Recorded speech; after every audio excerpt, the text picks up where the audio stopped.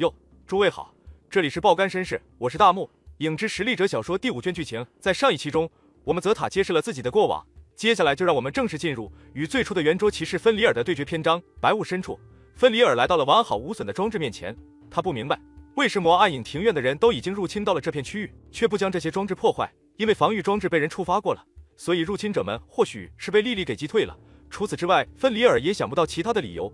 就在此时，有人向芬里尔搭了话。极度紧张的芬里尔立刻拔出剑，向声音的方向刺了过去。在那儿的是一位祭司，他防住了芬里尔饱含杀意的一剑。此时，芬里尔也看清楚了来者的面庞，正是同为圆桌的佩特斯，也就是杀害泽塔一族的祭司。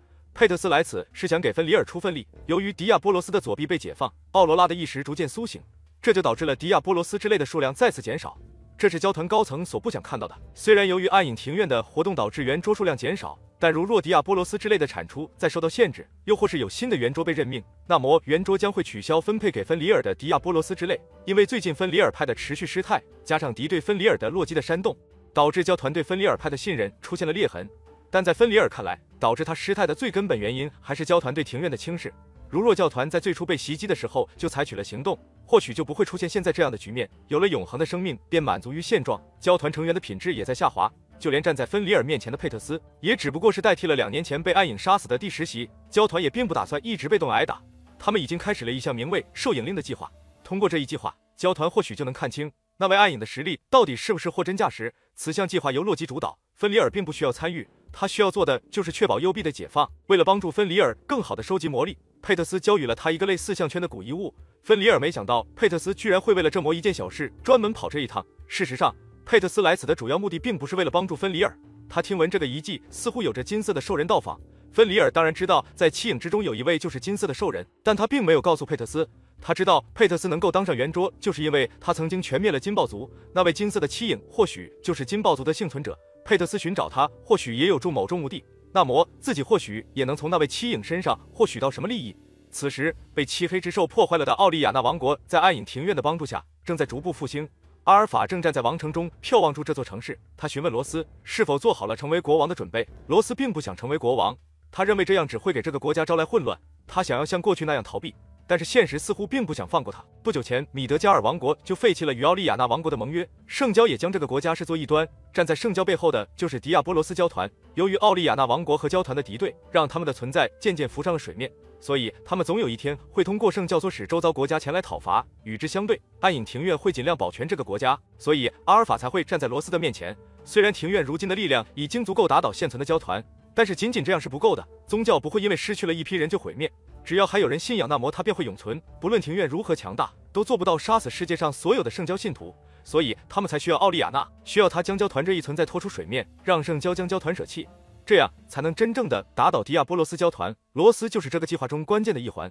庭院需要一个能够代替他们站出来的国家，所以就需要罗斯站出来，成为一位强大的王。虽然罗斯还很弱小，但是能够变强的只有那些知晓自己弱小的人。听完了阿尔法的话，罗斯下定了决心，他想要保护他父亲留下来的这个奥利亚纳王国与王国内的人民，他不想因为自己的软弱导致这个国家迎来终结，他会成为一位强大的王。既然罗斯有了觉悟。那么阿尔法和庭院就不会背叛他。阿尔法叫来了六百六十四号和六百六十五号，将罗斯熟悉的二人安排在了罗斯身边，座位和庭院通讯的窗口。这时房门被打开，来者是加玛。不知为何他拖住伊塔一起进来了。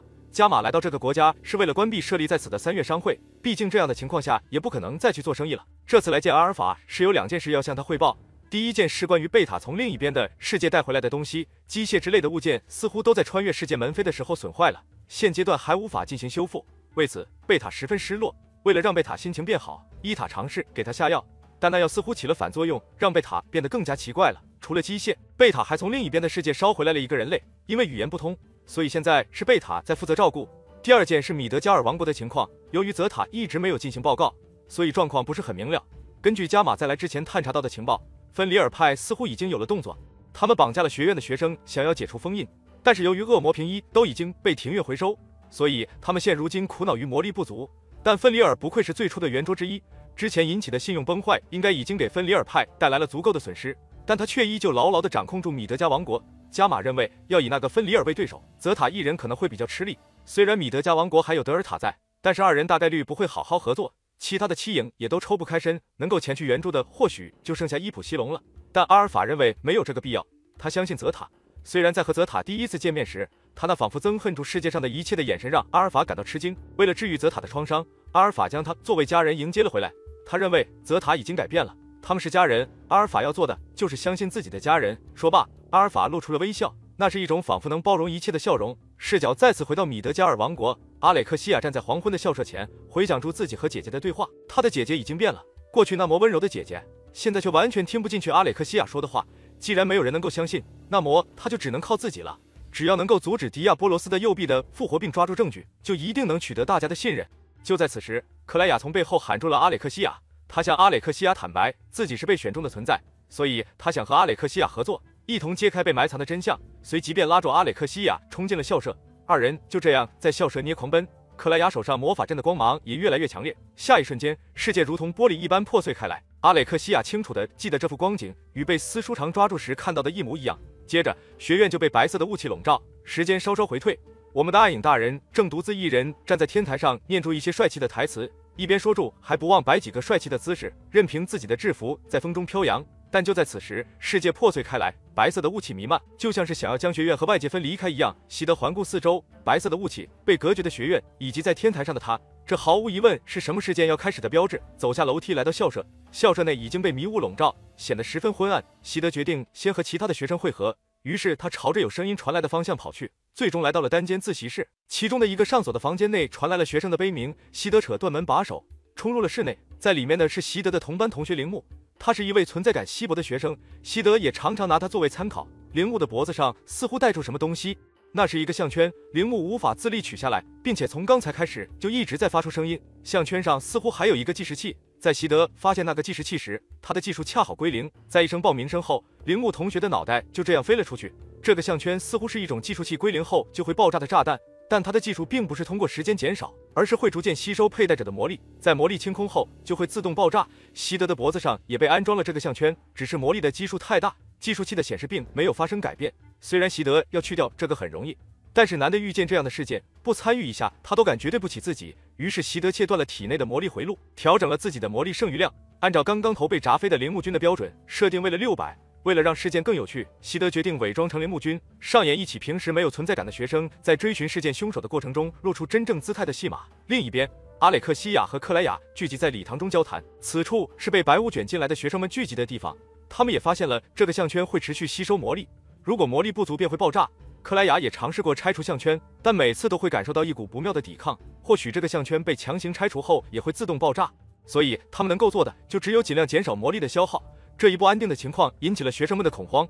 不久前学院才遭遇过袭击，现在又被套上了这样危险的项圈，周围弥漫的雾气似乎也不是普通的雾气，不论怎么走都无法走到学校的周边，就好像是被什么东西挡住了一样。渐渐的，就有学生失去了理智，他们被恐惧击溃，发了疯似的往外跑。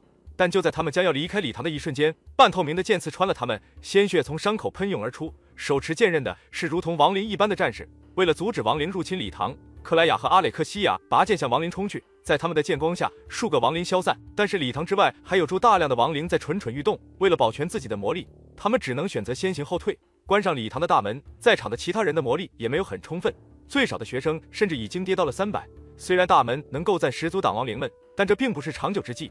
就在学生们都陷入迷茫时，有一道声音传入了他们的耳中：这样下去就只是在等死而已。说出这话的是铃木，他向阿磊克西亚提出了一项建议，可以将学生们分为两队。一组在礼堂内防卫，另一组则是前去讨伐这起事件的源头。这个项圈是用于收集魔力的，所以只要追寻住这股魔力，就能够找到这次事件的源头。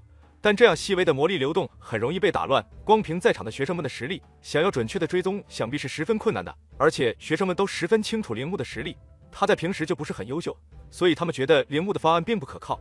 在这时，克莱亚的发言打破了僵局，他赞成铃木的方案，并且他的右手会指引他们追寻魔力的流动。看住一脸坚毅的克莱亚。阿雷克西亚也决定相信铃木，按照他提供的方案进行。最后决定了特工队的成员是克莱雅加上阿雷克西亚、妮娜、铃木以及铃木的远房表亲克里斯蒂娜。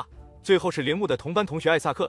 随后六人从礼堂的后门冲出，清理住亡灵，向魔力流动的源头走去。在这途中，克里斯蒂娜感到了一些违和感。她是铃木的远房亲戚兼同班同学，虽然并没有过深的往来，铃木的为人她还是清楚的。平常的她不是能够在异国的公主面前做出那样举动的人。现在在他眼前的铃木仿佛是变成了另外的人，虽然不知道原因，但在铃木身上发生了一些变化，这一点是毫无疑问的。几人继续在校舍内前进，突然，在众人的眼前出现了数头的亡灵，他们包围了一间教室，在他们四周散落着无数惨遭斩裂的尸体。虽然会耗费魔力，但众人还是决定出击救助被包围的学生。解决完亡灵后，众人看向被包围的那位学生，他明明只要待在教室内就能暂时躲开亡灵，但不知为何他极力抗拒回到他身后的教室里。就在此时，教室的门被打开了，在那门内的是学生会的副会长伊莱莎，他身边还有八位幸存的学生，但不知为何，除了伊莱莎和他的亲信，其他的学生剩余的魔力量都在三百以下。阿雷克西亚决定带住这个教室里的人离开校舍，由魔力较多的三人打头阵。众人就这样在布满亡灵的雾气中缓缓前进。随着魔力量的减少，他们对于死亡正在一点点接近一事也更加有实感了。其中最为严重的就是刚才救下的女学生，她所剩下的时间只有十分钟左右了。白色的雾气越来越浓厚，袭来的亡灵也越来越多，后方的学生们也被迫加入了战斗。那位女学生的魔力也在以肉眼可见的速度下降，但在数值即将归零时，铃木来到了那位女学生的身边。在教室的时候，铃木就调查过这个项圈，如果向项圈注入魔力，那么这些魔力便会在项圈内积攒。